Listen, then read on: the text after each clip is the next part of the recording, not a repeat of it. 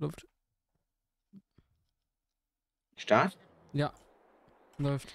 Willkommen beim Maronacast. Hier, hier seht ihr Flemings sich. Schaut bei Fleming TV Play vorbei. Willkommen bei. Mein Mikrofon ist aus. Oh, wow. Ey, Lukas, deine Intelligenz ist doch nicht zu übertreffen. What the f...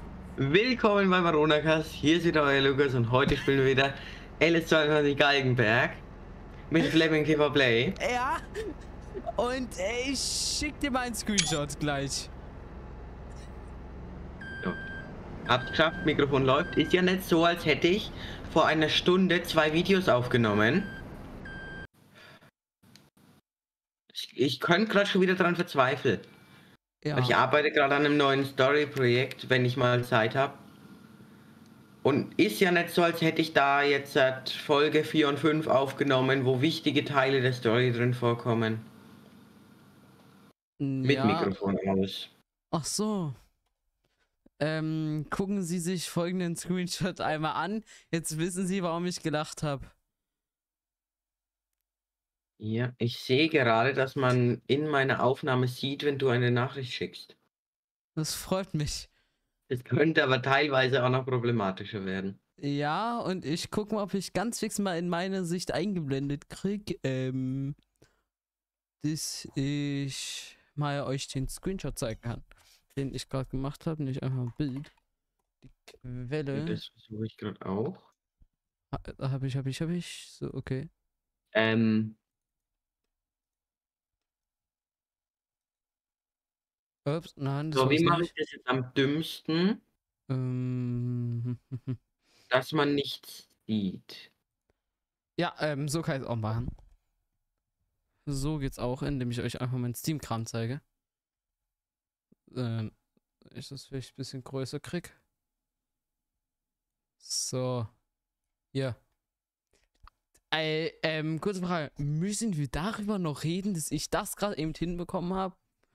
Naja, ich glaube nicht. Ach so, mm, ja, äh, das sind noch so ein paar andere Screenshots aus der ersten Folge. Ich weiß nicht, ob man das so, ob das so übliche Praxis ist, Drescher auf einen Schneidwerkswagen zu laden. Du magst, schicke ich das Ding aber. Über was ich, über was ich gerade mich beschwere. Ähm? Äh, ich habe gerade zwei Mauszeiger. Ich gratuliere, Lukas. Digga! Jetzt. Ah, Jetzt hatte ich ganz kurz wieder das Intro, das ist blöd beim Szenenwechsel. So. So, hier, Und dann. darüber. So, ich kriege jetzt aber schlauer hin, wie ich so. So, aber ähm, wir haben uns genug über ähm, so ein Bullshit unterhalten. Ja, ich hab's dann auch gleich. Medienwiedergabe, was? So. Kommt.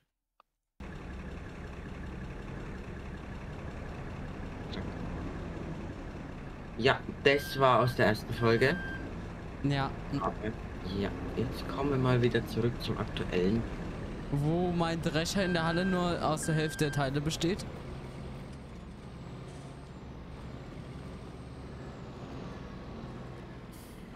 Äh, ich würde dich darum bitten, Strohablage auszuschalten. So, jetzt müsste es gleich aus sein.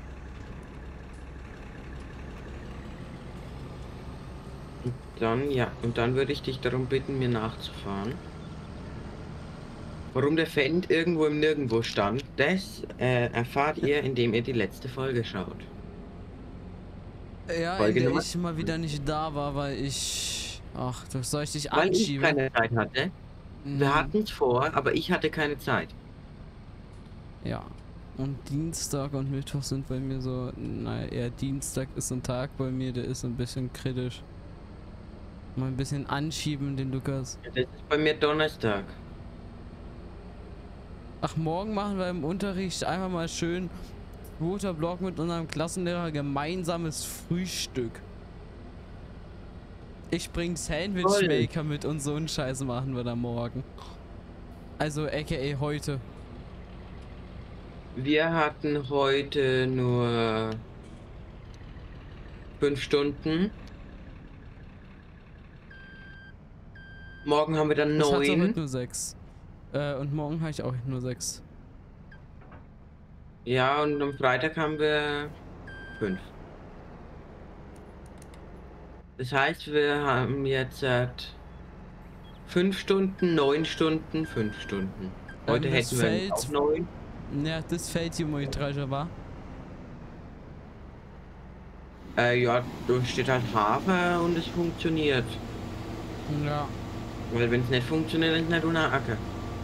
Aber da wird auch so eine Nachricht angezeigt, also das kann man eigentlich nicht übersehen, aber dir würde ich trotzdem zutrauen. So, dann dresche ich meinen Hafer ab. Dass du Und- gar nicht darauf reagierst. Worauf? Hast du mir gerade zugehört? Weiß ich nicht. Die Strohablage ist aus, falls du das meinst. Gut, gut, gut. Ich, ja, ähm, ich habe gesagt, Du hast äh, gesagt, da ja. steht, wenn der Acker einem nicht gehört, dann steht da das groß.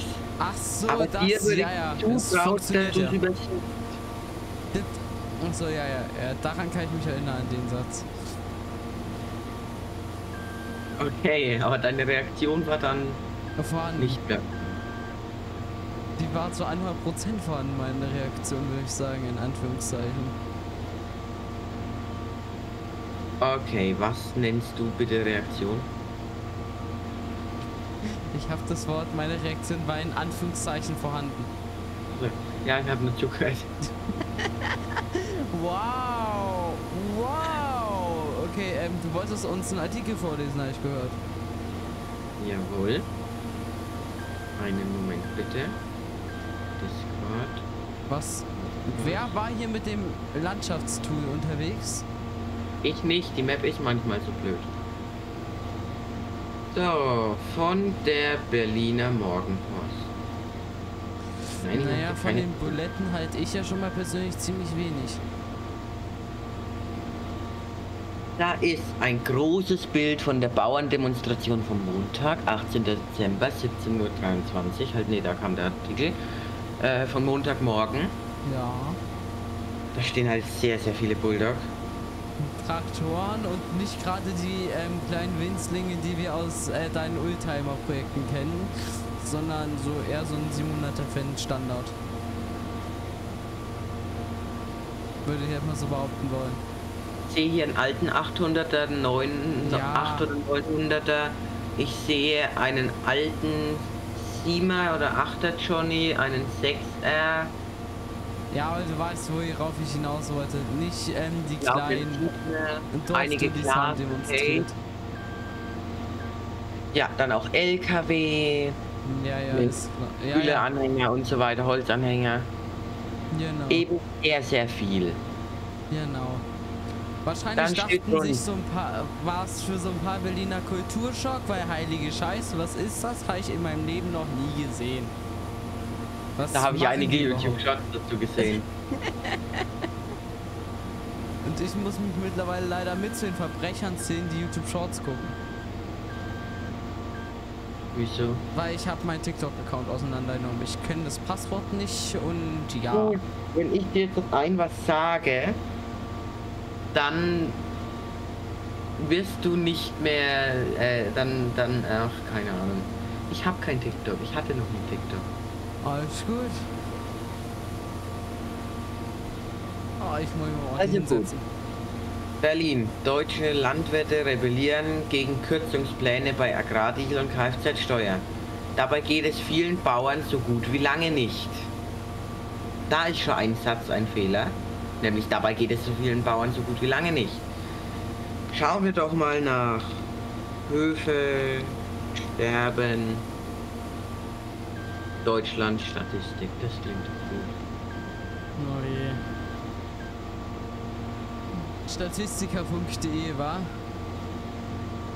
Dazu habe ich ein Zitat. Natürlich. Ich habe ein Zitat zu all, zum Thema Statistiken. Glaube keine Statistik, die du nicht selbst gefälscht hast. Das Zitat kenne ich. Also, 1975 waren es in Deutschland 4700 Höfe. Heute sind es 256.000. Mhm. Siehst du den Fehler? Ja, es Und es ist rapide gestiegen bis 2001, dann hat es sich kurz erholt. Dann ist von 2009 zu 2010 von 360.000 auf Aber du musst auch bedenken, die es waren 290.000. früher ganz, ganz viel. Äh, Was macht der denn hier? Ganz, ganz viele kleine Höfe. Und jetzt sind es wenige extrem große Höfe. Ja, aber das, was auffällt, ist, dass die Höfe immer noch immer weniger werden. Von Ja. 2021 zu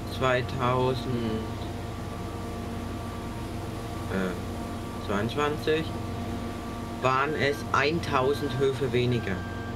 Hui. Das kannst du jetzt nicht vergleichen mit der mit dem von 1970 bis 2000, weil da sind halt die ganzen Leute in Rente gegangen.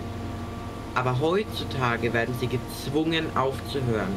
Weil 1970 bis 2010, sagen wir mal, das war so die Zeit, wo es angefangen hat mit dem ganzen Zeug. Und wo dann die jungen Leute in die Stadt gezogen sind und nicht mehr Betriebe übernommen haben. Ich sag's mal so, drei von meinen Urgroßeltern hatten einen landwirtschaftlichen Betrieb. Es gibt noch einen. ich sag mal so, mein in Anführungszeichen Onkel, der ist nicht wirklich familiär gedacht, mein Onkel, aber er sagte, ich ihn Ja. Onkel nennen soll. Kennst wahrscheinlich die Geschichte? Nein, aber egal. Äh, auf jeden Fall hat der in der LPG gearbeitet. Die haben den da rausgeegelt. Obwohl er noch arbeiten wollte.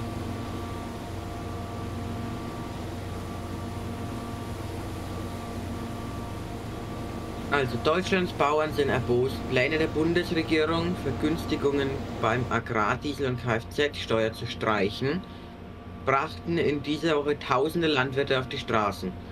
Bauernverbandspräsident Präsident bla bla bla sprach von einer Kampfansage an die deutsche Landwirtschaft. Ich kann den Nachnamen nicht aussprechen. Dann lass es. Joachim. Das ist der Vorname. Den. Plänen der Ampelkoalition zufolge würde durch die Streichung der Steuervergünstigung bei Agrardiesel gut 440 Millionen Euro eingespart werden. Weitere 485 Millionen Euro würden, würden frei, man die Befreiung für land- und forstwirtschaftliche Fahrzeuge von der Kfz-Steuer entfallen.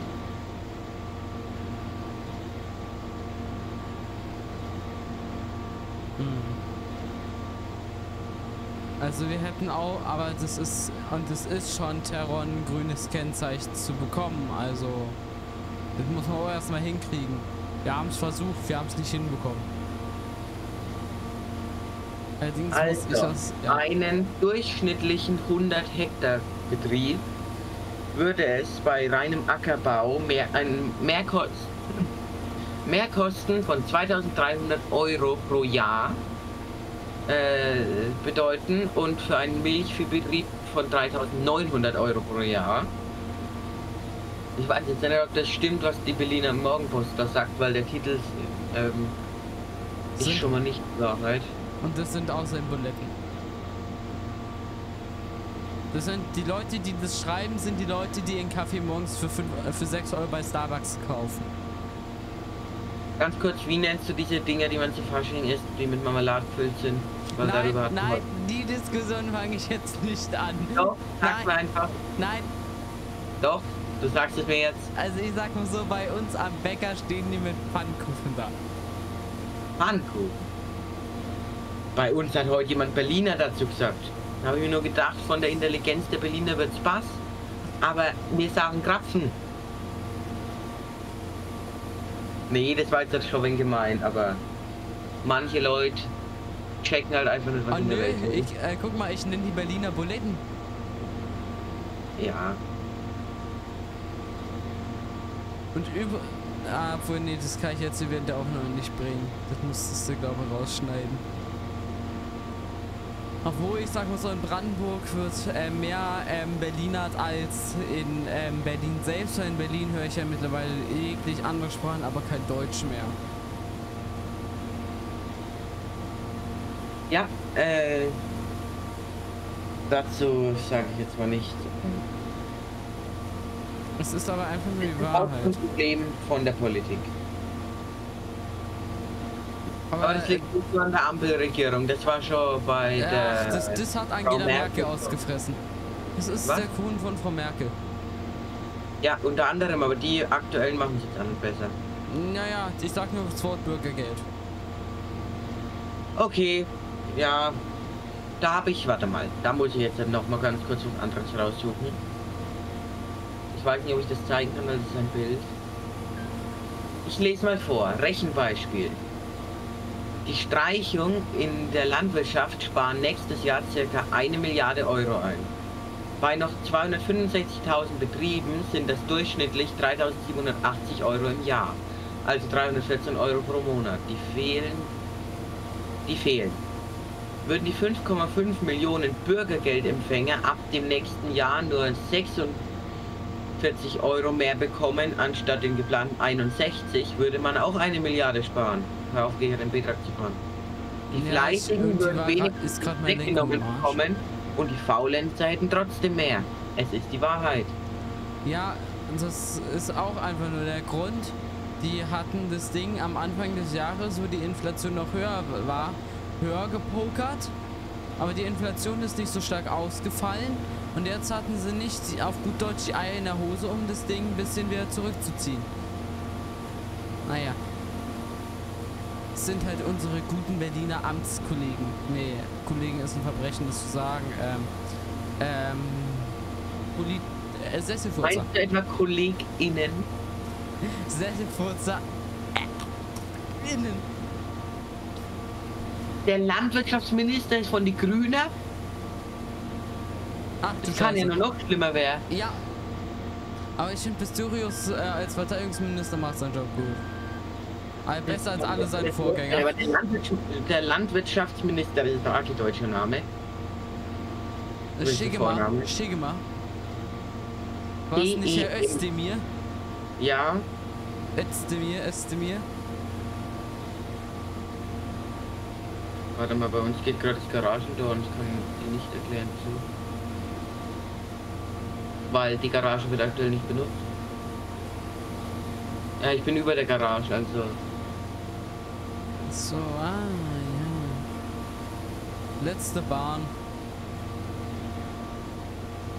Ey, ich bin In dein Meister. ist es laut, die, also laut der Be- Berliner Morgenzeitung, trotz externen Krisen wie Inflation, höhere Energiekosten und Krieg äh, und Lieferkettenproblematik gelungen, den Gewinn innerhalb eines Jahres um 45% zu steigern. Hm, den Gewinn oder den Umsatz? Weil Umsatz könnte sein, dass sie mehr bekommen, aber halt auch mehr ausgeben. Ich glaube, das ist so ein kleiner Rechenfehler von denen, Äh, weil dadurch, dass die ganzen kleinen Betriebe aufhören, verdienen die großen Betriebe mehr, müssen aber auch mehr ausgeben und ich kann mir vorstellen, dass das der Rechenfehler ist, ja. wenn sie überhaupt gescheit gerechnet haben.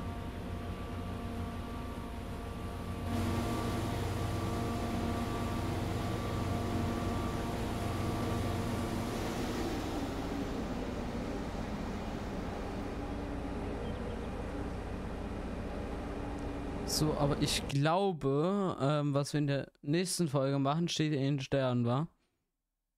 Ja. Ein, was möchte ich noch ganz kurz vorlesen. Ja. Spitzenverdiener unter den Bauern waren die Milchviehbetriebe. Mit 143.000 Euro durchschnittlich. Ackerbauern 120.000 Euro durchschnittlich. Ökobetriebe 100.000 Euro durchschnittlich.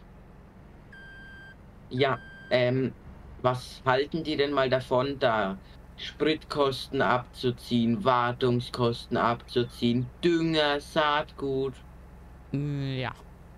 Weil ich glaube jetzt nicht, dass das der reine Gewinn ist in einem Jahr. Das kann ich mir nicht vorstellen. Da haben sie irgendwo einen Rechenfehler drin. Vielleicht haben sie monatliche Kosten daraus, Aber es wird ja immer noch gespart für neue Maschinen, die auch nötig sind, neue Ackerflächen. Ja, ja. Brauchst du für alles Geld, weil die kleinen Betriebe hören auf und wenn man die Äcker nicht kauft oder pachtet, dann bauen die da Solar hin und dann wollen sie regional und billig und alles wird aber immer teurer, weil es weniger Platz wird, weil es mehr Auflagen gibt, weil die Preise steigen und so weiter. Aber nee, ich erzähl, da gibt es noch was ganz an, einfach anderes. Ein paar äh, voll hochintelligente Leute aus Berlin kaufen sich irgendwo in Deutschland äh, Agrarflächen und äh, schieben den Preis künstlich hoch. Auch. Das gibt's auch. Dass sie wie Immobilien äh, in Agrarflächen investieren. Okay. Aber ja, Fleming hat jetzt den Acker gedroschen. Ja. Schaut bei Fleming PV Play vorbei. Bewertet das Video, abonniert den Kanal. Bis zum nächsten Mal. Tschüss. Äh, ich muss noch mal ganz kurz weg. Ja. Aufnahme.